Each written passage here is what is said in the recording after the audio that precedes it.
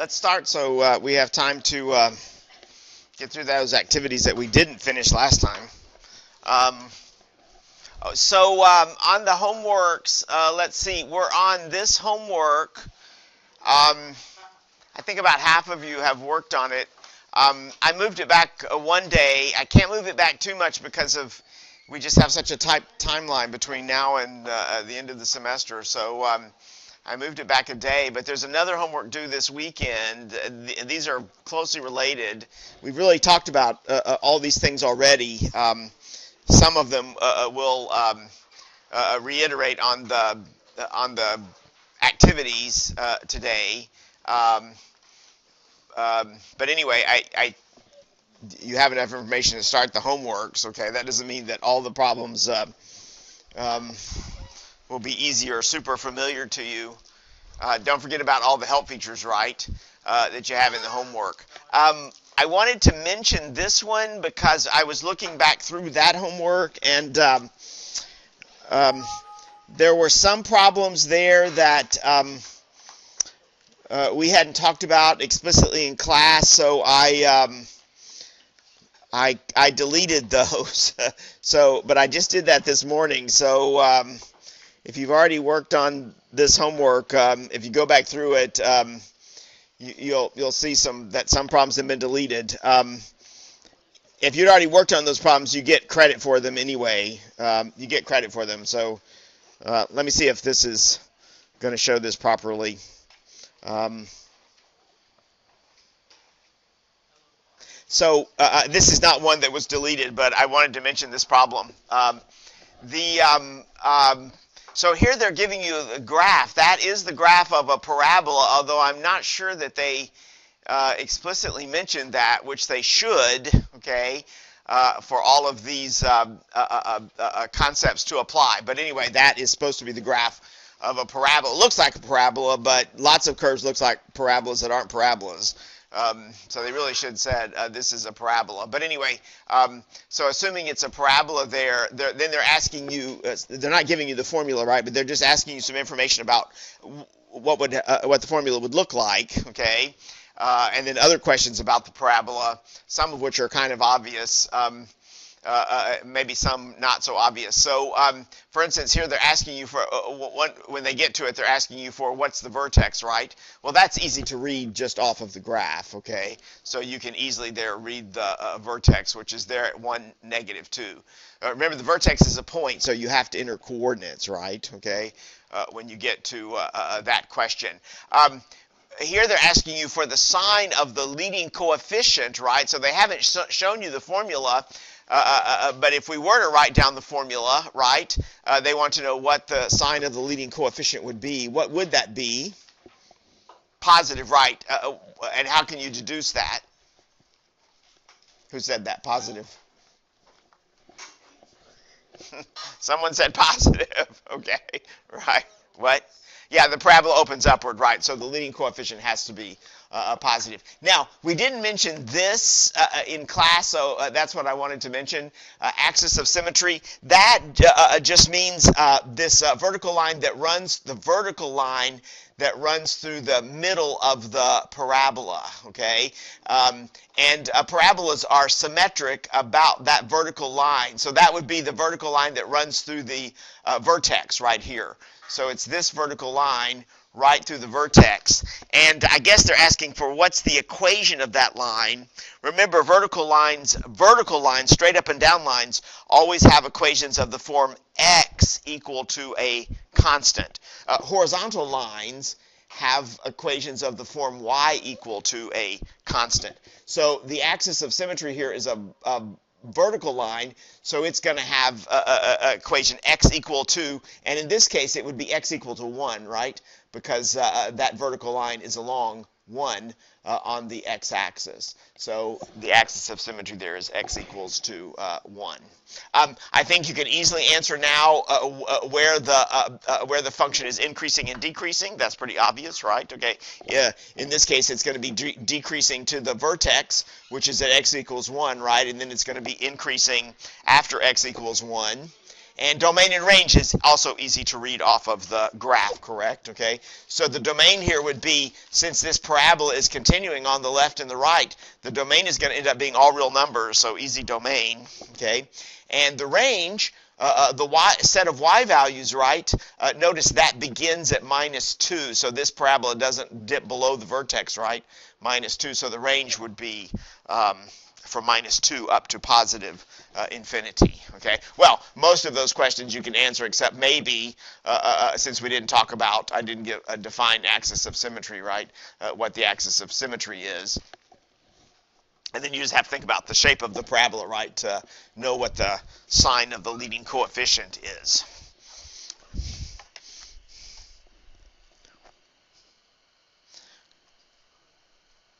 Okay, so there's a very similar problem.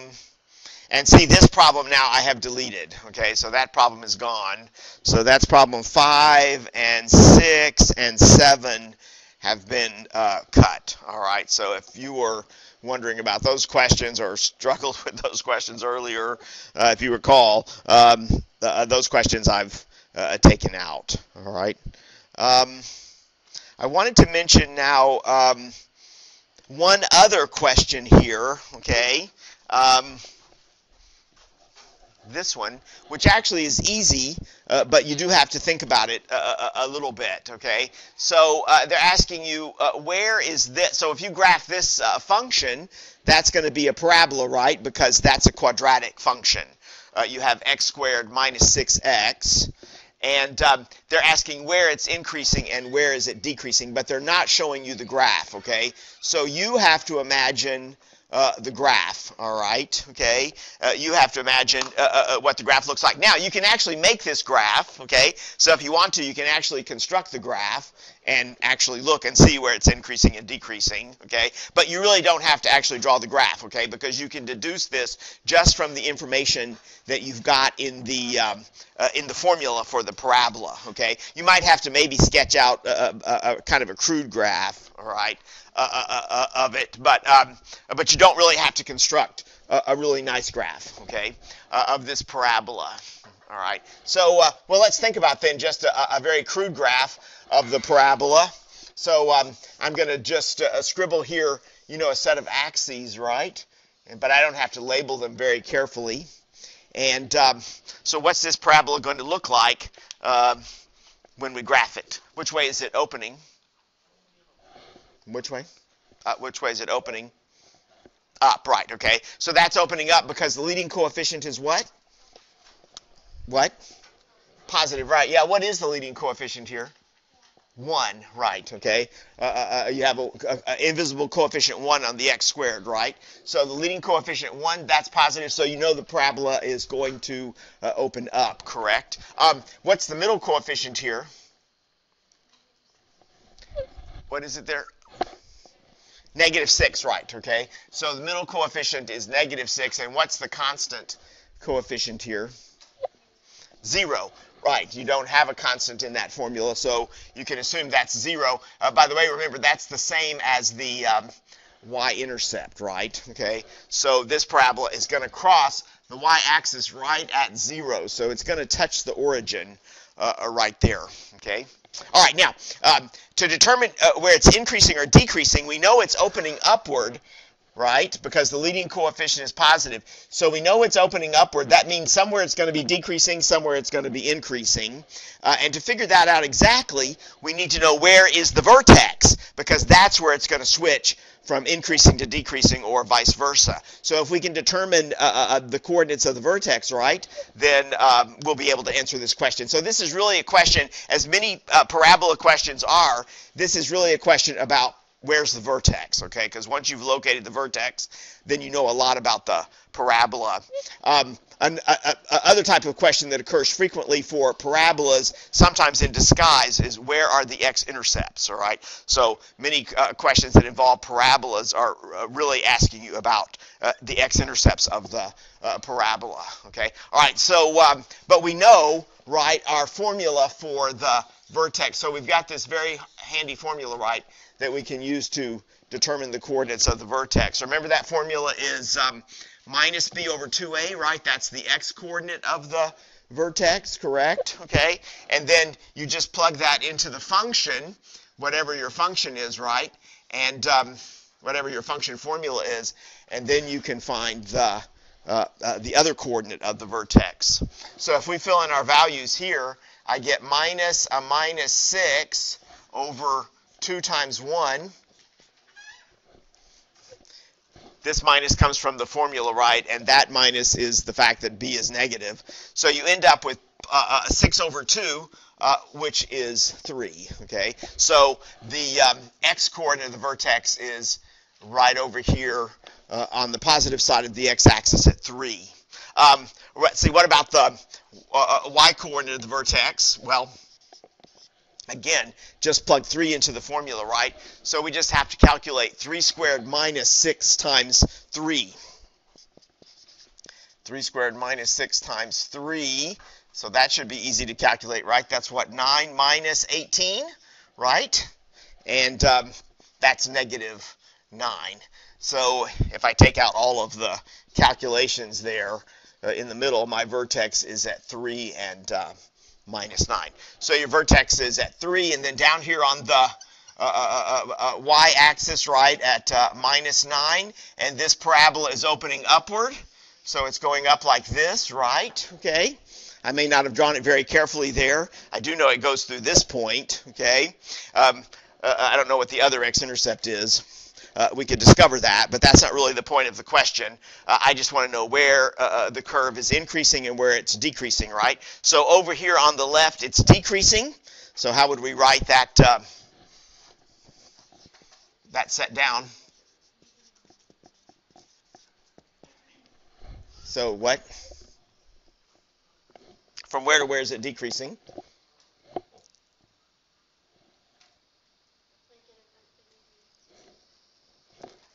Negative infinity to 3, right, okay? So you give your answer in terms of the x-axis, so it's decreasing from minus infinity to 3, right? Remember, we always have this question of whether the 3 should be included in this set or not, okay? I'm just going to include it there. And then it's going to be increasing for the rest of the, going to be increasing for the rest of the domain there. So uh, increasing from 3 to um, positive infinity. Um, so you don't, again, you don't have to really uh, uh make a nice graph of this uh, uh parabola uh, uh, to answer this question. In fact, um, you could really do away with this graph altogether. I think you can imagine enough of the graph in your head, right? Okay, to figure out where it's increasing, decreasing. What you need to know, really, the key thing there is the vertex uh, that you really do have to calculate. Actually, only the x-coordinate of the vertex, right? Okay, I really uh, uh don't care uh, that the y-coordinate is down here at minus 9. That's true, but the, the, key thing to answer this question is just what is the x-coordinate of the vertex, which is 3, because that's where it's going to switch from, in this case, from decreasing to um, increasing. All right, we do know how to find the x-intercepts, though. How do we find the x-intercepts? This is not part of this question, but while I'm uh, uh, uh, standing here, how do we find the x-intercepts? Set it equal to 0, right? So that's the same for uh, any function. So you would take the x squared minus 6x. Uh, is that what it was? x squared minus 6x, right? Uh, set that equal to 0, correct? Okay. And then um, solve that equation. And that's a quadratic equation because the unknown is squared. But you've got lots of options now. Well, at least two, right? Major options for solving that equation. The first one is what? So what what's kind of our default choice for solving a quadratic equation? What technique would we try first? Factor, right. So try factoring first. But if you can't get anywhere with factoring, okay, sometimes uh, uh, uh, you get lucky and it factors easily, sometimes not so easily, right? Uh, or not at all. Uh, uh, so if you get lucky with the factoring, that's great. That makes it easy to solve. If you can't, you can always use the quadratic formula, right? As long as you know the coefficients, okay, um, of the equation.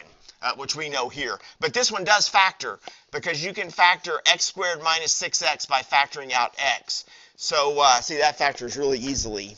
So uh, uh, there you have your product equals 0. So that means um, either x is 0 or x minus 6 uh, has to be zero. So one of the x-intercepts is zero. We already knew that. Okay, one of the x-intercepts is zero, and the other one is six. So my picture is not um, very uh, well. It's not bad, but it's not really accurate, right? Okay, one, two, three, four, five, six. It actually crosses the x-axis over here at six. Okay, uh, instead of where I drew it. Okay. Once you know the x-intercepts and the vertex and the y-intercept for a parabola, um, it's really pretty easy to graph it then by hand. Okay, um, those are really the key pieces of information uh, for a, um, a, a, parabola. All right. So if you're asked uh, on an exam or uh, on homework, right, to uh, uh, graph a parabola, that's what you want to look for, right? Okay. Find the vertex. You can calculate that. Find the x-intercepts that may be a little bit harder, okay, because it might involve the quadratic formula. So find the x-intercepts. Remember, they sometimes do not exist. And then also, uh, because it's easy to find, find the y-intercept, right? Okay. And with those pieces of information, you can usually draw a, a, a nice graph, okay, uh, of the uh, uh, uh parabola by hand, all right, without having to rely on uh, your calculator or your computer. Okay, all right. So there's some, um, there's just some tips about homework problems there. Okay, so remember that's due tomorrow, all right? There are seven, well, there were 20 problems, but remember three have been deleted. So you've got 17 problems there. Um, some of them are pretty straightforward, but some of them might involve uh, uh, some work, okay? So um, allow yourself time, right, to uh, to finish that homework. All right. Um, okay. Now, well, let's get we'll get to this. Um, I was going to look at the um, activity sheet for a second, but we'll get to that later. All right. We finished one problem off of that, and I wanted to review that, but we'll do that later. Uh, before I leave this, do y'all have any uh, particular questions? that you want to ask that you recall about this homework? Because I know you've worked on it, okay, or at least you've opened it. I didn't see how much progress. Oh yeah, it was, uh, for the ones who worked on it. There was a fair amount of progress. There was a lot of work left to be done, but uh, there was some progress on that. Okay. Um, all right, so I'm going to take your I'm going to take your word for it. Okay.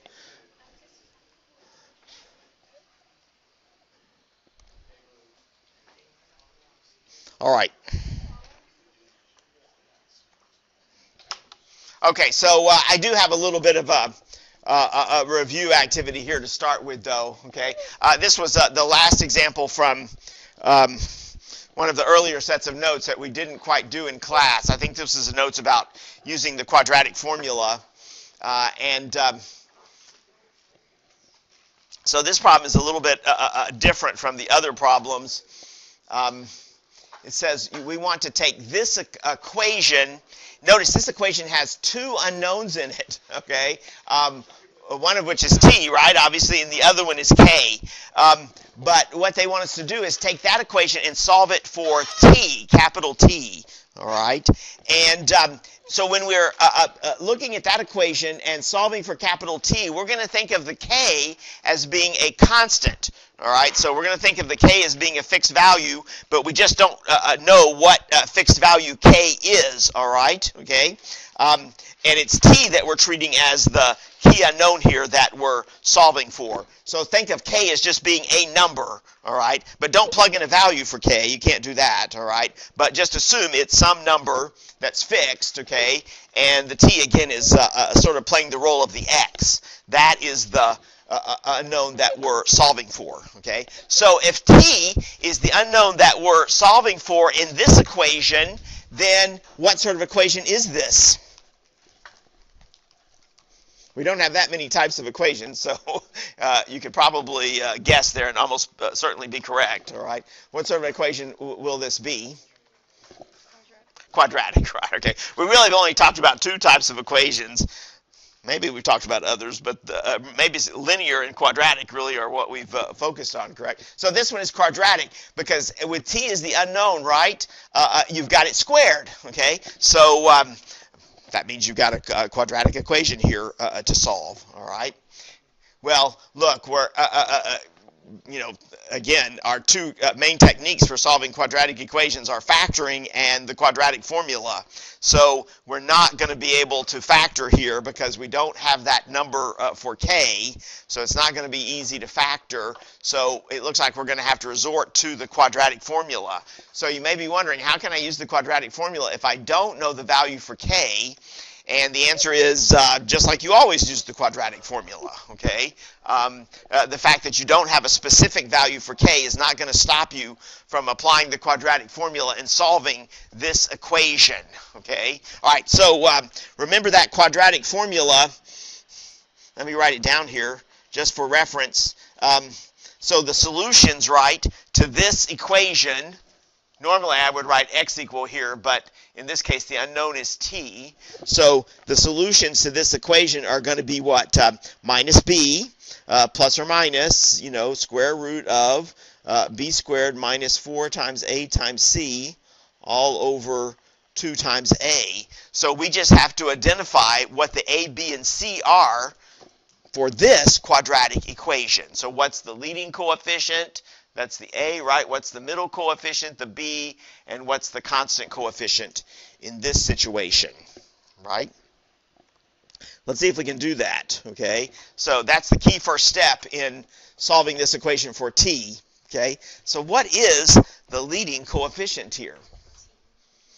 Uh, not t, okay? t is not a coefficient, it's the unknown, right? So, uh, uh, uh but what, so where are you looking, uh, uh, Leslie, for that leading coefficient?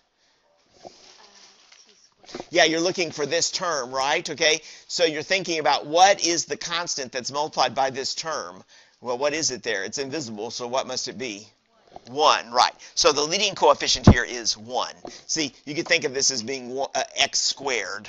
Uh, uh, uh we're just using capital T here instead of x. So uh, uh, the leading coefficient there is 1. All right, so we got that, okay? All right, so one third of the way here to um, writing down those coefficients. Now, what about the middle coefficient? What is the middle coefficient going to be here? What now? Wait, say that again. K. Well, all right. All right. So, uh, all right. So, Arthur, explain what you're thinking there. Why, why were you thinking K? Because you've got two squared variables. Um, no, uh, this is not a squared variable. That's just that is like a number to us, right? Okay, because remember that's what I said. T is the variable here, okay, right? So, um, yeah. So what's the middle coefficient there? What?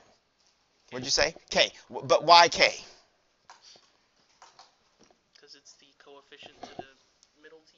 Ah, that's right. Okay, that's exactly the correct explanation there. Right.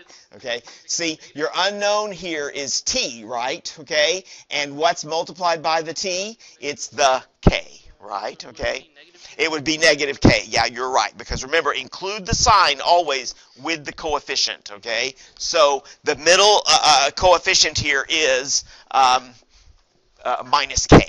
Ah, now see that looks funny, right? Because you're used to writing down a number, right, for b, but you don't have to write down uh, uh, always there a, a number. Okay. Remember, k represents a number. All right. Um, what's the constant here then?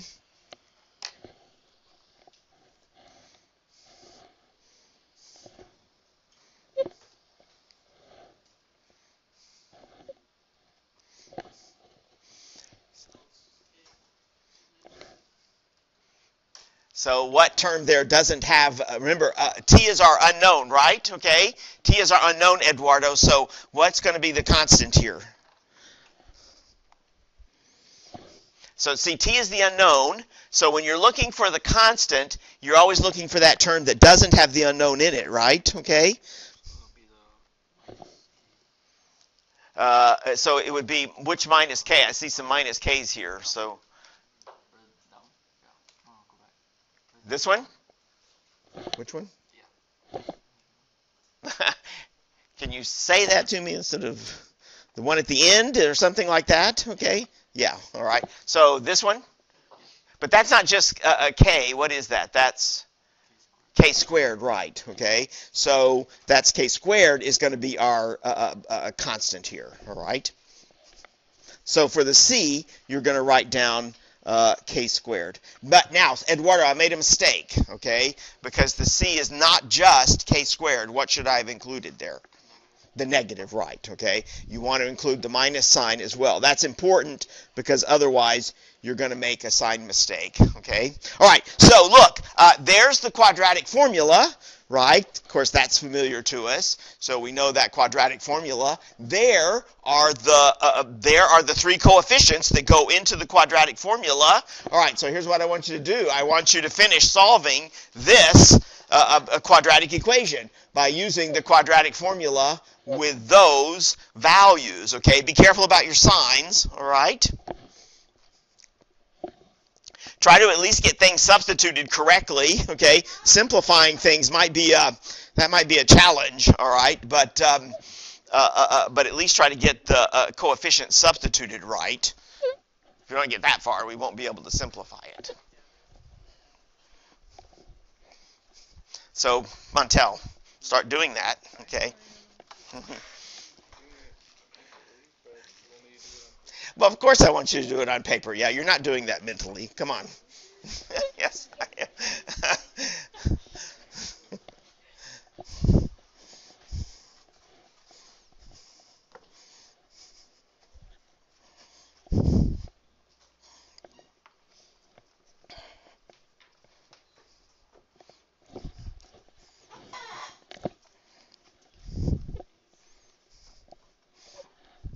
Chris, do you have some paper?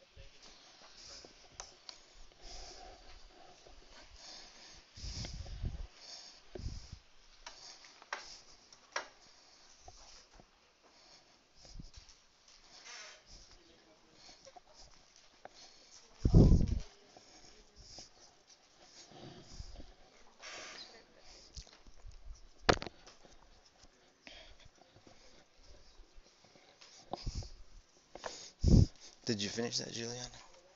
I don't know if I'm right. Okay, so. So um, if this is negative, would these cancel out and still become negative?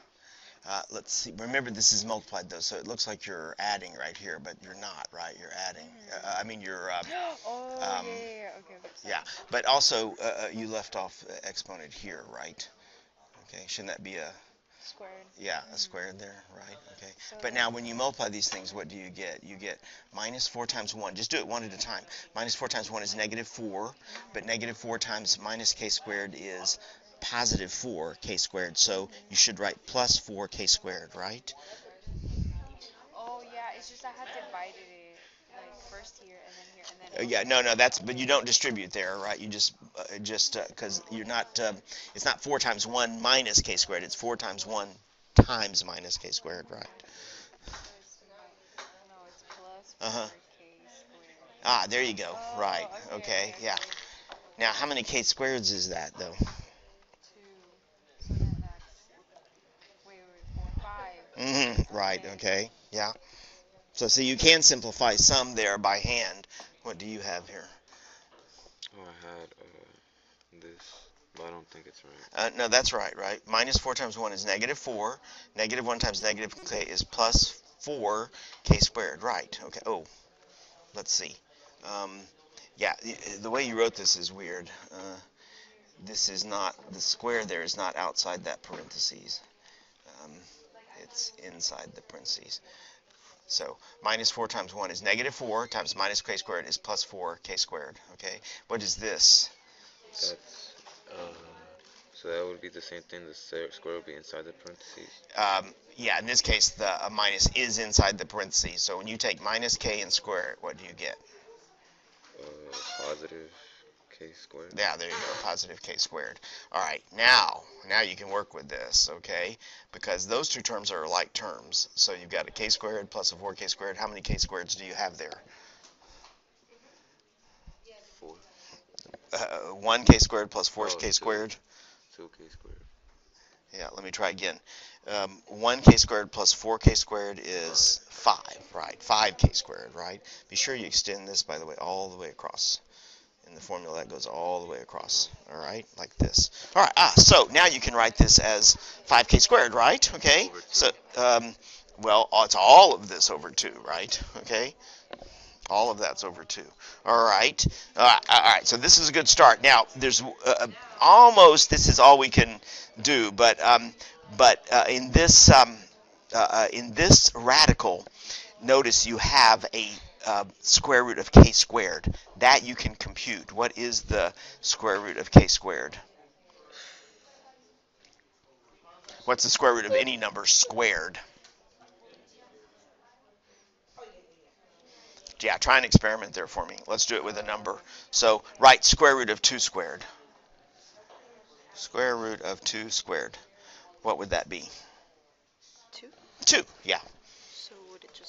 Ah, right. So you can extract outside of the radical of k, but you can't do anything with 5 because 5 is yeah, 5 is not a perfect square. So would K plus or minus K square root of five over two. ah, there you go. Right. Okay. Hold on. Okay, tell that to me again. Explain it how you have negative k times negative k is Mhm. positive k. therefore- That certainly is. I think it's over two. Ah, this is nice, right? Um, one thing uh, uh, I want to caution you about is um, don't try to conserve uh, pencil lead there. This this goes all the way across. This goes all the way across like this, okay? Um, but this is a squared. You, you left off your two there, right? Now there's a so that's almost completely simplified, but uh, there's something else you can simplify because here you have square root of k squared. What is the square root of k squared? What's the square root of any quantity squared? This one would be k, right? Yeah, when you take the square root of k squared, what do you get? Square root of k squared. To me, I would just say k, but. mm. It's just k, that's right. Yeah, so you just write that down. Square root of k squared will just be k, right? So this you can extract a square, uh, uh, uh, the square root of k squared. So you can pull out of the radical a k. So you can rewrite this with k in front and this out, Oh, gone, right? Yeah, because you extracted the square root of k squared. You can't do anything with a square root of 5, though. 5 is not a perfect square.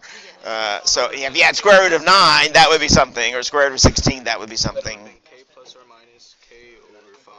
Yeah, k square root of 5 all over what? 2. There you go, right. Okay, yeah. So that's pretty, uh, that's about as far as we can go by hand uh, without knowing what k is, right? hmm After this part, can we? But you didn't add right because you have k squared plus 4k squared. So how many k squareds do you have? You're adding here. Oh, okay. So This is like one apple plus four apples.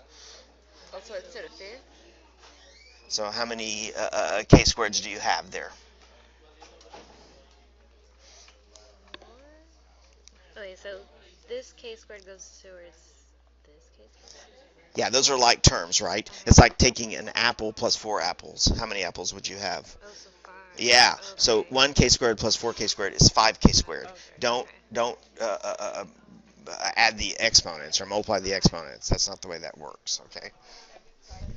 Aha. Okay. So um, as I expected, there, I saw a few weaknesses in your algebra skills. Okay. But we need to uh, uh, uh, uh, uh, remedy some of those. All right. So um, uh, the simple the uh, uh, uh, uh, substitutions uh, y'all did those good, right? So we have minus b, but b is minus k, so you get minus a minus k, right? Plus or minus because you can have two possible solutions here, right?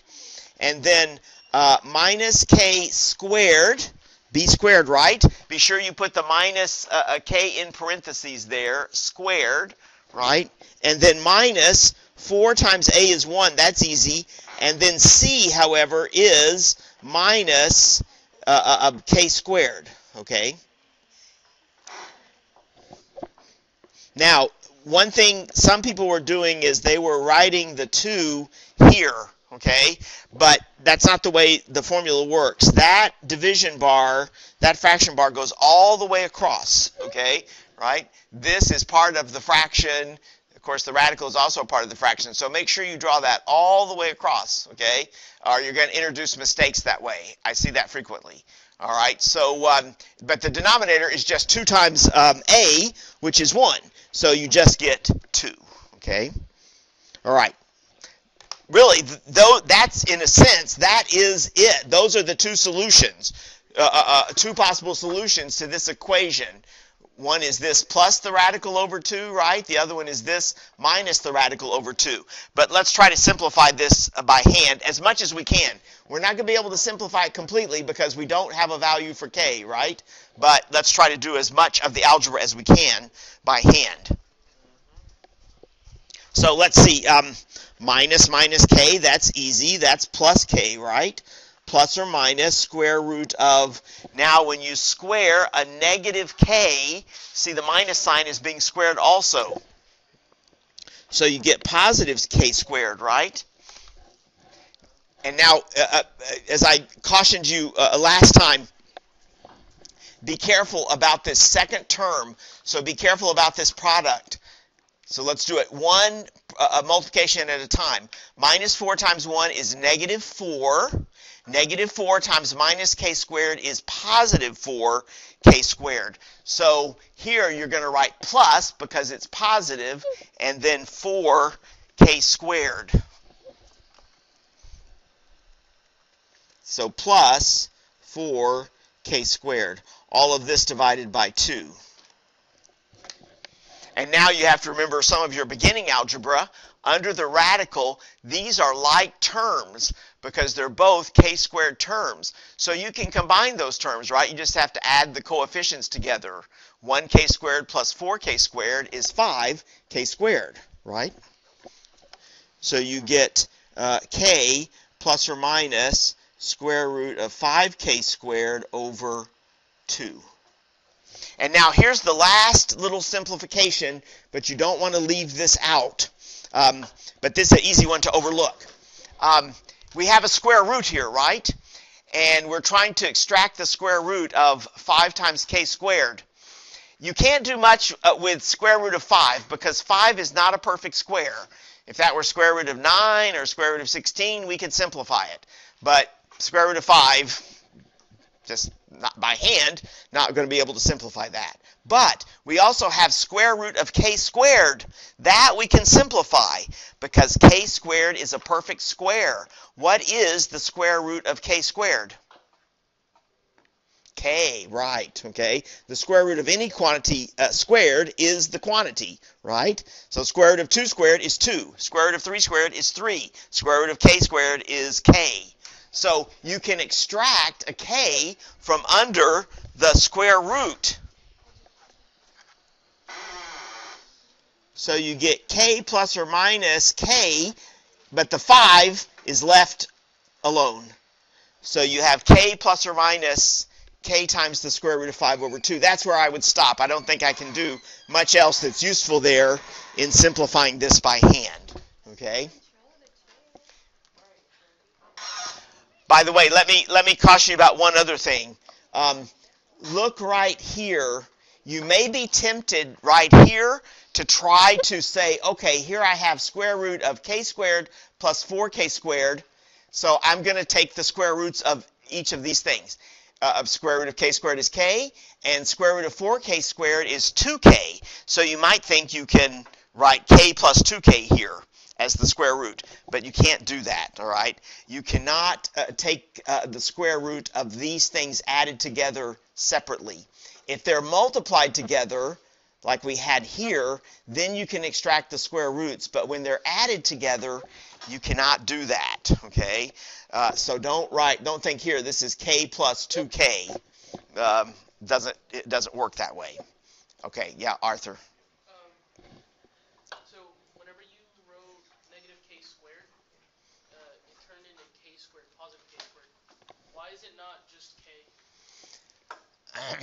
uh, uh, uh, what now? Where? At the beginning where it has negative K squared. This? C or B, I mean. Oh, okay, wait, wait, wait, wait, wait. In the original formula, it's squared, right? Yeah. Right. Yeah, okay, okay. Yeah. Yeah. Yeah, and B is minus K, right? So you right? B is minus K. So you have the quantity minus K squared. Right. But so he's then saying like how come it's still k squared? Yeah, like if- how come it didn't just if turn you to squared it, yeah, wouldn't it just be K then? Because negative K times negative K should be a positive, right? It is positive. I did write it as positive here. Yeah. Well, okay, Arthur. So uh, write it. Let's write it down. All right. So minus, um, if I can get a pen that writes, uh, minus uh, uh, uh, k squared, right? So I did. I did that substitution correctly, right? So you see that, correct? Yeah, right. So, but what is uh, what does it mean to square a number? You multiply it by itself, right? So we have minus k times minus k. Minus times minus is what? Plus k times k is what? Okay. Does that make sense now? All right. That's where. Hmm. Okay, so um, there's applying uh, uh, the quadratic formula in a little bit different, a little bit novel situation.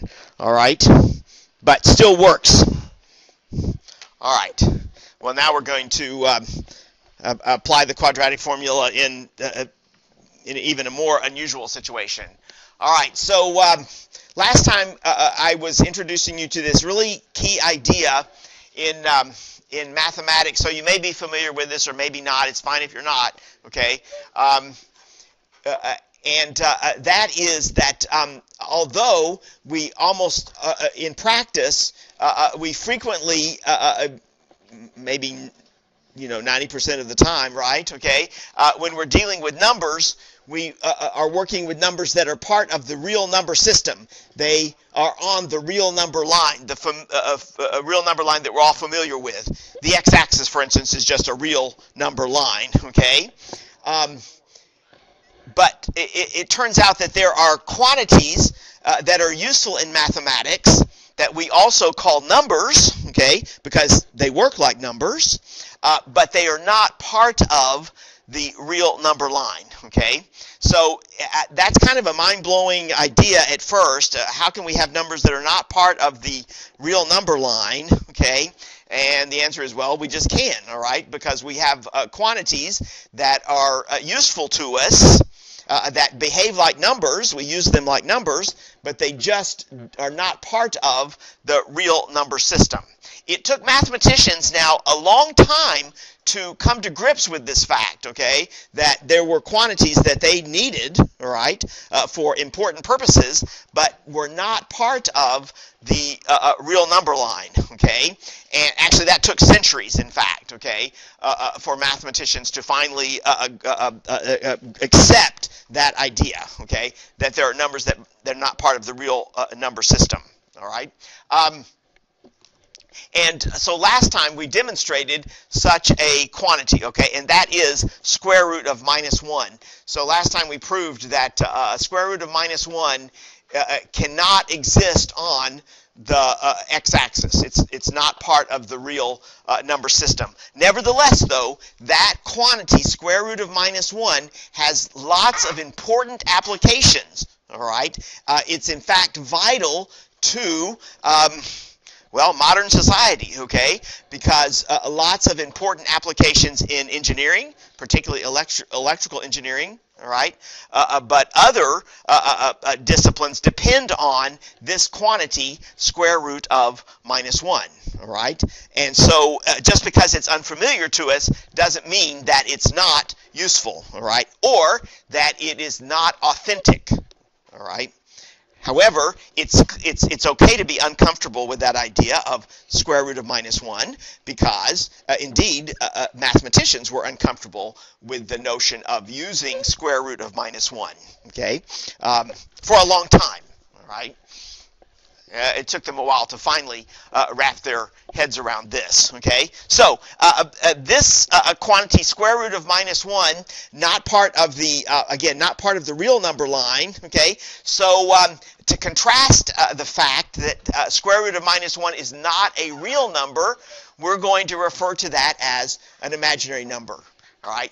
In some sense, that is an unfortunate term, okay? Because when you say minus one is an imaginary number, you're thinking, oh, it doesn't really exist, okay? No, it does exist, okay? It exists, and we use it uh, uh, just like we use other numbers. Maybe not as frequently, okay, as we use other numbers, but it does exist, and it have important applications. The reason the term imaginary has gotten attached to it, well, there's lots of historical uh, reasons for this, okay? But a convenient way to uh, think of why we call a, a minus a, a square root of minus one an imaginary number is just to uh, uh, uh, uh, accentuate the fact that square root of minus 1 is not part of the real number system. Okay, uh, It's not a real number. It's its own type of number. Therefore, we call it an imaginary number because imaginary and real are kind of uh, uh, opposite terms, right? Okay. Um, all right. So um, there we've learned a new type of uh, number today, okay? Uh, square root of uh, minus 1. Now, um, we're going to learn how to do uh, uh, some uh, operations with square root of minus 1. Um, and since square root of minus 1 is a number, I claim, right? Okay, we do the same things with square root of minus 1 that we do with uh, uh, uh real numbers. We do arithmetic with numbers, right? That's what numbers, uh, uh that's one of the things that we uh, do with numbers. So we also can do arithmetic with square root of minus 1, okay? Um, and it, it's actually pretty easy to understand the arithmetic for this imaginary number minus 1. when, so we'll show you some examples of this. Um, but before I before I do anything else, um, I've got to come up with a nice notation for square root of minus one because this is very clumsy. All right, so um, uh, uh, uh, to refer to this number by always having to write that radical sign, okay, and then put a minus one under it, that is uh, too much work. All right, so I'm going to give a am uh, going to make up a, some notation for square root of minus one, and um, here's what I'm going to use. All right. Um, so I can't use a digit, right? I can't use a digit like 1, 2, 3, or 4 because I use all those in representing real numbers. So um, what I'm going to do is I'm going to borrow the letter I from the alphabet, okay? And we're going to use that as our notation for um, square root of uh, minus 1, okay? So when you see me write down I, uh, uh, uh, frequently, okay, um, uh, that will represent the uh, number square root of uh, minus 1. Okay? All right, so um, let's think a little bit about um, let's think a little bit about how, how square root of um, minus 1 works. Just a little bit.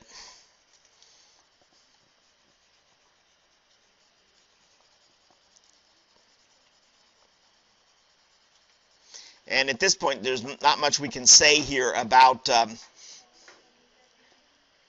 that uh, number i, okay? But I do know this, okay, already.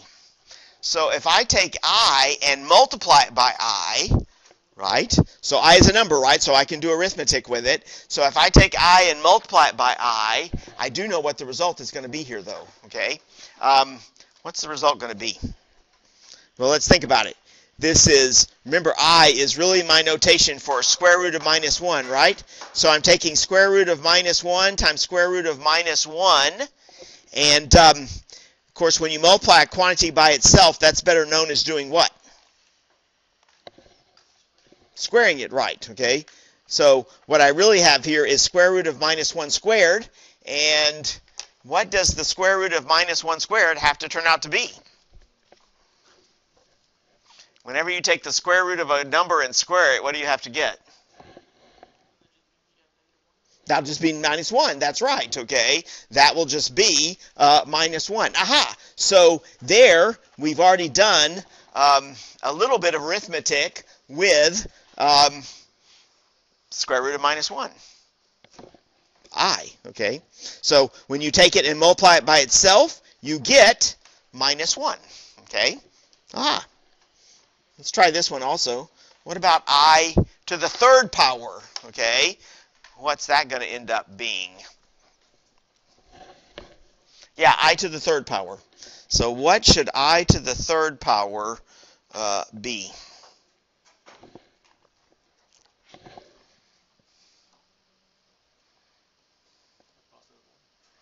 Well, let's see. Um, I'm going to break this down in a particular way.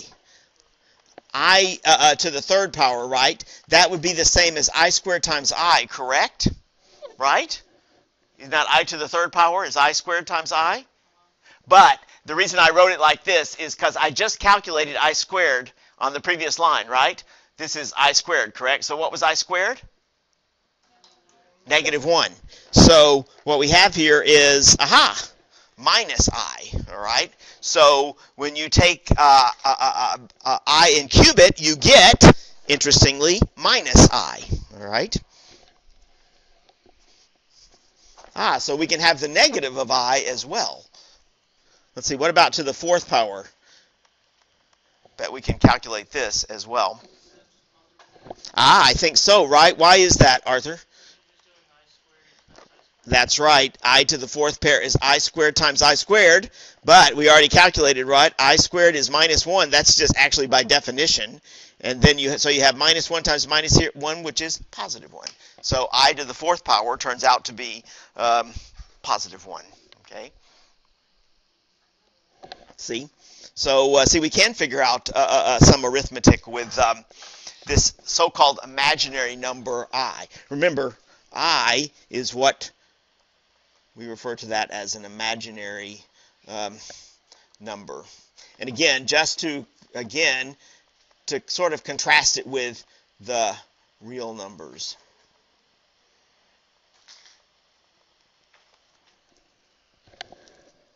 Now, let me show you something else we can do now. Um, now that we know square root of minus 1, I claim we can also now write down square root of minus 4. So, wonder why that's the case. Well, let's see. Um, square root of minus 4. Well, minus 4, you can write that as minus 1 times 4, correct? Right? Isn't that minus 4? But now you can extract these square roots. What's the square root of minus 1? i. And what's the square root of 4? 2. So this just turns out to be 2 times i. Okay? So square root of minus 4 is 2 times i. That is a, a different imaginary number from i. Okay? Ah, so now we know two imaginary numbers, i and um, 2i. Okay?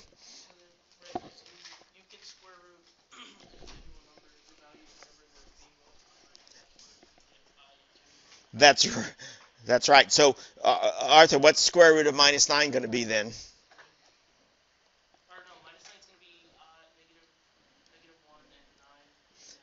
Yeah, that's uh, a minus 9 is uh, uh, uh, negative 1 times 9, right? But these two uh, square roots now we can extract, right? So we get what there? Uh, square root of minus 1 is what? And i, and square root of 9 is 3. So you get here 3i, okay? Oh, so there's a there's a third imaginary number, okay? Um, three times i, and in fact, you can uh, get a, a, a, a, bunch of imaginary numbers in this same way. Anytime you take a real number, any real number, any real number that you like, and multiply it by i, that gives you um, a new imaginary number. Okay.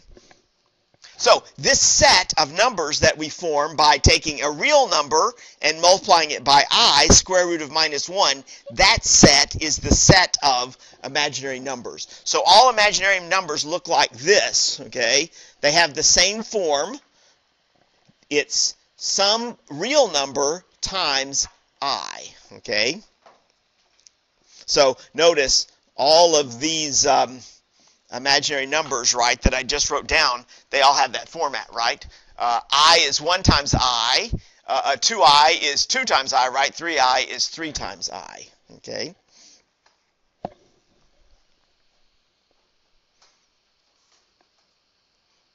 So again, remember b is not an imaginary number, right? That's a real number, and then you multiply it by square root of minus 1 i, and that product gives you um, what's called an imaginary number.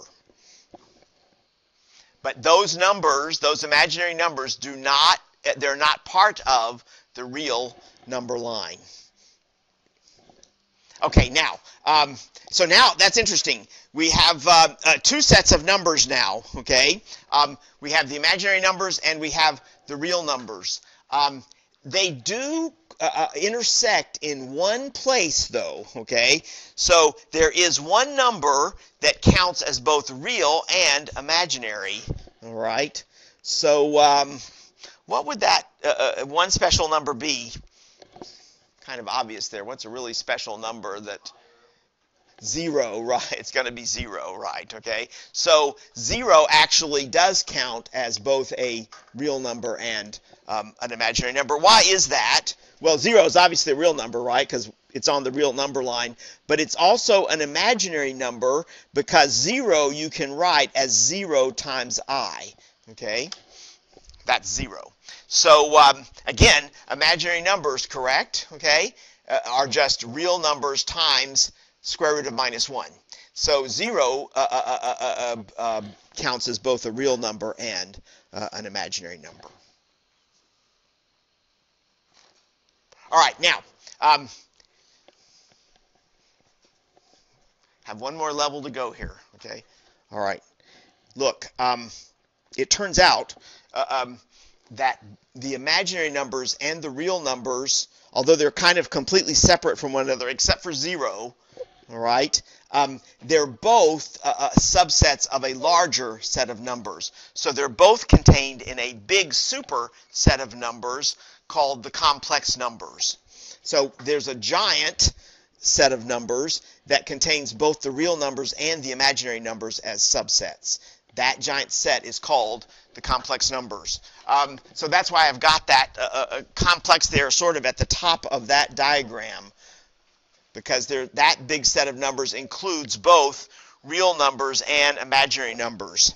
Here's what complex numbers look like, okay? So I'm going to write down some examples to show you what complex numbers look like. Uh, anytime you take a real number, what's your favorite real number?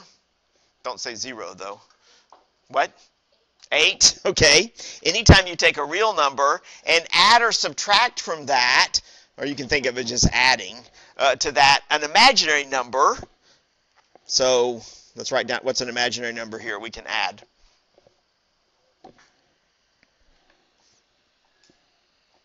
Remember, we wrote down some imaginary numbers here, right? Okay. So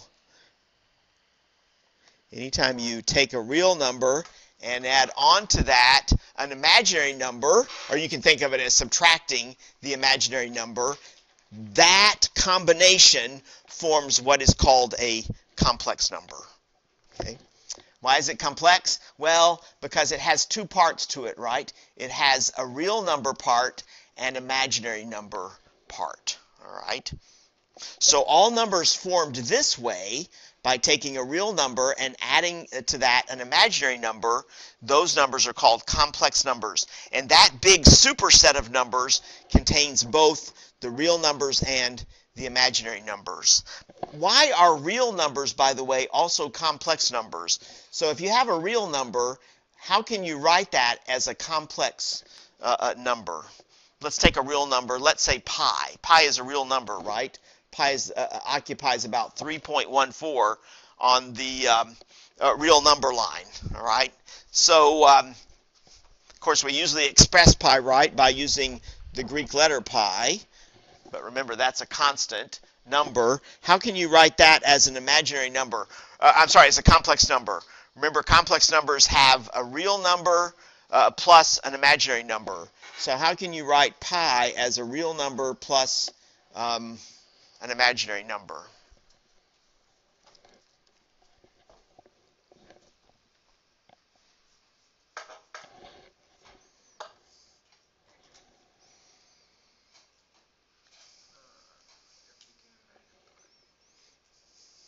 Now, how can you write pi in this form, Montel? So, uh, uh, as a, a, real number plus um, an imaginary number, but you want it to be equal to pi.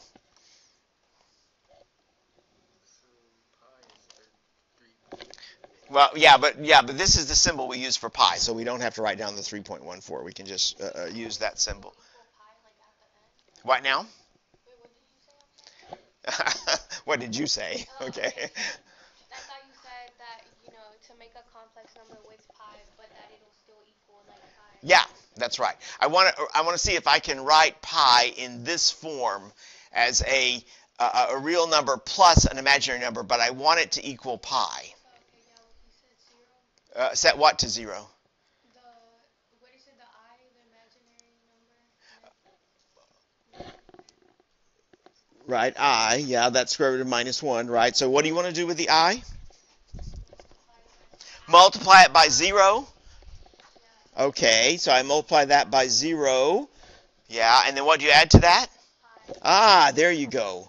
Excellent, Nadine, right? Okay, see, you can write pi as pi plus 0 times i. Remember, 0 times i is just going to be 0, right? So here you'll just get pi, but see, that is written as a complex number, a real number plus uh, a, an imaginary number, okay? Um, you can do that for any real number, right? Take any uh, real number that you like, right? Okay, so we could take 2, right? And we could uh, write that as 2 plus 0i, right? Or we could take the uh, real number minus 10, right? That's a real number, and we could write that as minus 10 plus 0i. That's still minus 10, correct? So, see, any real number can be written as a, a, a real number plus an imaginary part. That makes it a complex number. So, see, all real numbers are also complex numbers. That's why I said the real numbers are part of the big set of complex numbers. Now, what about imaginary numbers? I said these are also complex numbers. So if you take an imaginary number, how can you write that as a complex number? Let's let's take uh, uh, i, our favorite imaginary number, right? So how can you write that as a complex number? It's got to be a real number plus an imaginary number. So how can you write i in this form so it fits this format? Think about what we did here. Plus what? Well, but you don't have to say square root of minus 1. You can just say i, right, okay? Yes, sure, right, okay? You can take i and you can write that as um, 0 plus itself, correct? Okay? So 0 is definitely a real number, and you're adding to that an imaginary number, but that just gives you i. Um, what about 2i? If you want to write that as a complex number, do the same thing, right? Okay, just take 0 plus 2i, correct? Or you can do the same thing for any imaginary number, right? Okay, you can write it as 0 plus itself. That means it qualifies as a complex number. So this big set of complex numbers includes the imaginary numbers. Sometimes uh, we call uh, numbers like these the pure imaginary numbers. So it includes the pure imaginary numbers, and it also includes the pure real numbers as well. All right? They're all part of this big superset of numbers. But the complex numbers include numbers that are not pure imaginary, are not real numbers. Here's an example of one, okay? And you can write down lots of others. Just take a real number plus an imaginary number. That gives you a complex number. So there are complex numbers that aren't pure imaginary and aren't pure real numbers. Um, wow, I wonder if, um, so, so here we've now introduced these two new sets of numbers, right? Um, imaginary, and now this big set of numbers, the set of complex numbers. I wonder if the complex numbers is also part of a larger set of um, numbers, okay? Maybe this diagram is not complete, so maybe the complex numbers sits in a bigger set of numbers. Well, you'll be relieved to know the answer to that is really no. Okay, um, uh, uh, uh the complex numbers really uh, uh, includes all of the uh, quantities. All right, that we're going to find useful in mathematics. There's a, a, theoretical reasons for that. Okay, but once you've learned about the complex numbers, you've sort of learned what there is to know about numbers. All right. Um, all right. Well, look, uh, we don't know much about complex numbers yet. Okay, that's uh, uh, uh, uh we've only written down a few examples, and um, but what we want to do with complex numbers, of course, since they're numbers, is we want to perform arithmetic with them. So um, let's talk about how the arithmetic works. And that fortunately turns out to be pretty straightforward, okay? Especially for algebra students uh, it, uh, uh, it, turns out to be pretty easy there to um, do arithmetic with complex numbers. Let's look at some examples here. All right. So um, here I'm adding two complex numbers. See, this is a complex number, minus 3 plus 4i, and this also is a complex number. So how do I know those are complex numbers? Because, see, here you have a real number, minus 3, that's obviously a real number, right? Plus this pure imaginary number 4i, okay? Whenever you combine a real number with an imaginary number, you get a complex number. Um, this also a complex number, right? Uh, uh the real number 5, and then this is the imaginary number uh, minus i. All right, now uh, uh, let's see what we get when we add these two complex numbers together. If life makes any sense, right, um, when we add two complex numbers together, we better get another what? Um, complex number? Okay. Yeah, I hope so, right? Okay. Um, that's uh, uh, uh, uh otherwise uh, uh, things are going to be odd, right? Um, okay, so let's see if this happens. And the way to actually do this arithmetic is very similar to adding expressions in uh, beginning algebra class. Look, just uh, let's just uh, remove the parentheses. Uh, uh, you can remove the parentheses by multiplying through uh, this coefficient in front of the parentheses, which in both cases is 1. So you're going to get minus 3 plus 4i on the left there, and then on the right you're going to get plus 5 minus i. Okay? And then to keep simplifying, all you have to do is add the real numbers together, right? And then add the imaginary numbers together, okay? So um, what's minus 3 plus 5, of course? 2, right, okay? So um, here you'll get 2, and then we're taking 4i, and we're subtracting i from it. That should be what? 3i, and that's exactly what it is, okay? So you get 2 plus 3i. This is kind of like 4x minus x is 3x. Well, 4i minus i is 3i, okay? Ah, so there is your sum. Um, uh, when you add these two complex numbers together, we got this uh, third complex number, 2 plus uh, 3i, uh, uh, okay? Here we're subtracting two complex numbers, but it's going to work, of course, uh, very much like addition. So to simplify this sum, just take 8 plus 2i minus 10 plus 5i, right? And um, what's that got to be?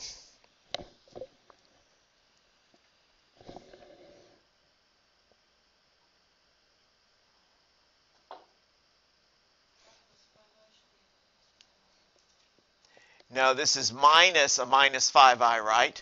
So that's plus 5i, correct? Okay. And minus 10 is minus 10. So I wrote this down correctly. Now, how do I finish simplifying this? What now? There you go, right. Uh, 8 minus 10 is minus 2, and 2i plus 5i is 7i. So you get minus 2 plus 7i, right? See, very simple. Now, the multiplication is a little bit trickier, but not too much, all right? So let's try multiply. See, this is multiplying now these two complex numbers. You're going to multiply these two complex numbers like these were expressions in algebra. So you have to multiply everything in the first parentheses by everything in the second parentheses, uh, uh one at a time. So let's do that. first I take minus 3 times 5 is what? Minus 15, right?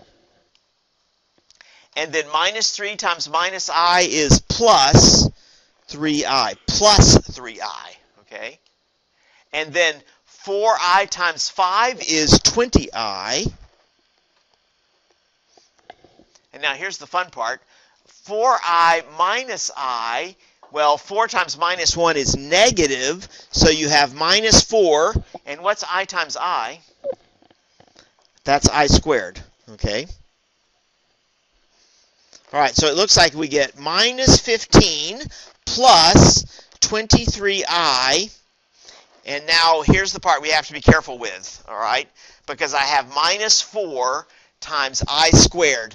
And now I get my opportunity to remember what was i by definition? Square root of minus 1. That's right, okay? So remember, i is the square root of minus 1. So when you square i, what are you going to get?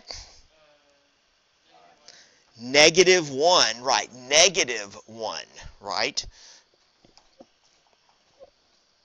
Whenever you square square root, you get uh, the quantity under the radical, right? So when you square square root of minus 1, you're going to get minus 1, not positive 1. So we have here minus 4 times i squared is minus 1. i squared is minus 1. So you end up there with minus 15 plus 23i plus 4. And minus 15 plus 4 is minus 11, right? So there is our product. It's minus 11 plus 23i, okay? That is where you really have to pay attention, right? I, I squared is not uh, uh, uh, i or 1, it's negative 1. And that just comes about from the fact uh, that that's how we defined i, right? Okay? We said it's going to be the square root of uh, minus 1. Let's try one more here. So 5 minus i squared. Well, remember, uh, when you square a quantity, that means you multiply it by itself, right? So what's 5 minus i times 5 minus i? So y'all are good at this kind of multiplication. What's 5 times 5? 25. And then you have 5 times minus i, so that's minus 5i, right? And then we have here, whoops, and then we have here minus i times 5, so that's another minus 5i. And then what's the last product there? Minus i times minus i. This is the one you have to watch out for. So what's minus i times minus i? Positive i squared, exactly. So 25 minus 10i, and then how much is i squared?